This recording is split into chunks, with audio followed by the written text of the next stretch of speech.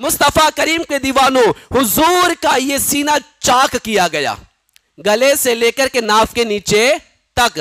آقا کریم صلی اللہ علیہ وسلم کے اس سینہ مبارکہ کو چاک کرنے کا واقعہ چار مرتبہ ہے۔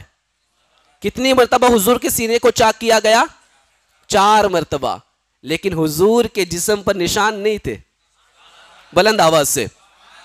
چار مرتبہ حضور کے سینے کو چاک کیا گیا۔ کب کیا گیا؟ تو پہلا، پہلی مرتبہ جب حضور بچپن میں حضرت حلیمہ سعدیہ کے گھر تھے۔ حضرت حلیمہ سعدیہ کے گھر تھے اور بکریاں چرانے کے لیے گئے تھے۔ اس وقت دو فرشتے آئے جنہوں نے سفید لباس زیب تن کیا تھا۔ انہوں نے حضور کو پکڑا اور ایک پتھر پر لیٹا دیا اور سینے سے، پورا سینہ چیر دیا گیا گلے سے لے کر کے ناف کے نیچے تک۔ اور کچھ چیز کو نکال کے پھینک دیا، دل کو پھر دھو دیا اور پھر اس کے اندر کچھ انڈیل دیا، پھر بند کر دیا۔ یہ واقعہ ام حلیمہ سعدیہ کے گھر تھے، تب ہوا تھا بچپن کے اندر، جب آپ کی لگ بھگ عمر دو سال کے قریب رہی ہوگی۔ اس وقت حضور صلی اللہ علیہ وسلم کے سینے کو چیرا گیا۔ وجہ کیا تھی؟ بچپن میں حضور کا سینہ اس لیے چیرا گیا اور چاک کیا گیا۔ تاکہ بچپن کے اندر بچوں میں جو عادتیں ہوتی ہے شور شرابہ کرنا، تماشا کرنا، کھیل کود کرنا، یہ عادتیں حضور میں نہ آئے، اس لیے حضور کے دل کو دھو دیا گیا تھا۔ حضور کے دل کو دھو دیا گیا۔ اور پھر دس سال کی عمر میں۔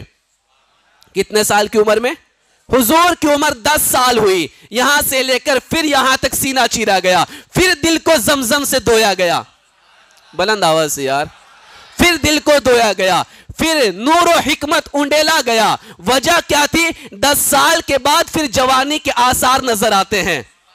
جوانی میں بچہ قدم رکھتا ہے۔ تو ایسے کے اندر جوانی کے جو خیالات ہیں، جو وسوسے ہیں، وہ حضور میں نہ آ سکے۔ حضور کے دل کو پھر دھو دیا گیا۔ پھر صاف و شفاف کر دیا گیا۔ پھر نور و حکمت کو انڈیل دیا گیا۔ پھر تیسری مرتبہ تیسری مرتبہ جب قرآن نازل ہونے والا تھا۔ قرآن نازل ہونے والا تھا۔ چالیس سال کی عمر ہوئی آقا کی۔ ابھی اعلان نبوت کرنا باقی ہے۔ اس سے پہلے غار ہیرا کے اندر فرشتہ آیا۔ حضور کے سینے کو چیرا گیا۔ چاک کیا گیا۔ دل کو نکال کے دھویا گیا۔ اتنی بار دل نکال کے دھویا ہے۔ اور حکمت اور اس کے اندر نور کو انڈیلا گیا۔ کیوں؟ تو اس کی وجہ بیان فرمائی، کیونکہ اللہ نے قرآن میں بیان فرمایا، یہ وہ قرآن ہے، اگر ہم پہاڑ پہ نازل کرتے تو پہاڑ ریزہ ریزہ ہو جاتا۔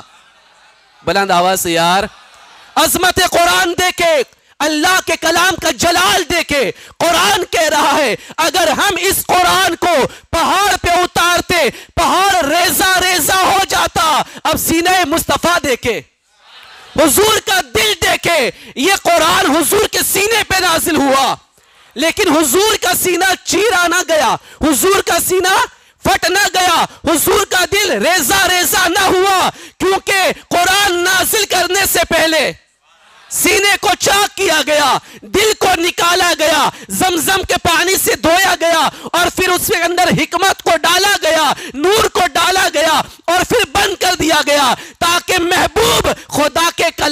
جلال کو برداشت کر سکے۔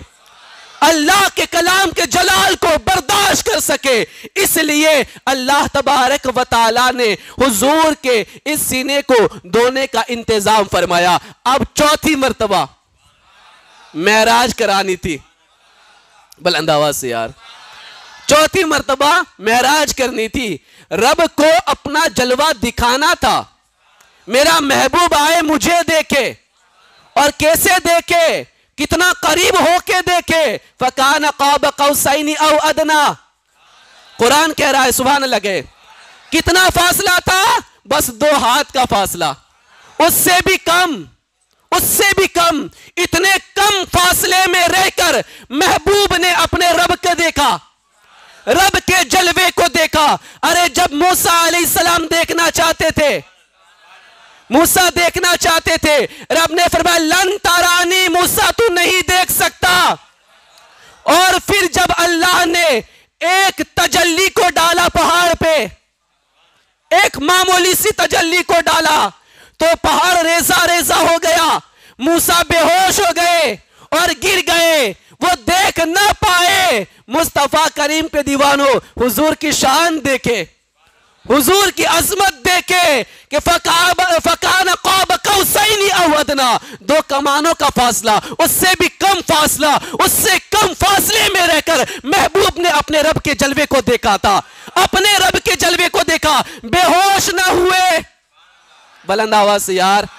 بے ہوش نہ ہوئے۔ ہوش نہ گوایا، بلکہ ہوش و حواس میں دیکھا۔ اور جیسا دیکھا، دنیا میں آ کے بیان بھی بیان بھی فرمایا اور صرف دیکھا نہیں، خدا سے کلام بھی کیا، خدا سے باتیں بھی کی، حضور نے کچھ پیش کیا، رب نے کچھ عطا فرمایا۔